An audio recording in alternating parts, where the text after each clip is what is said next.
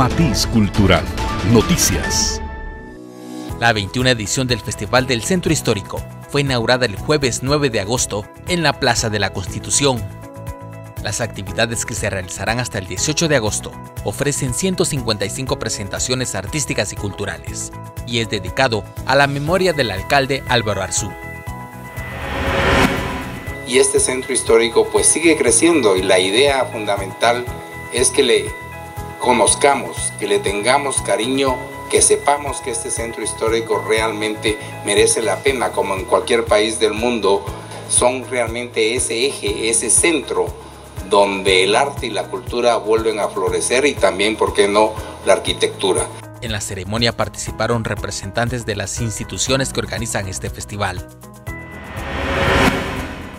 Son miles de artistas que estarán presentes con su talento y su trabajo, donando su trabajo para la ciudad para las familias y los amigos de Guatemala y de otras poblaciones que vendrán a disfrutar de eventos gratuitos en todos los campos del arte.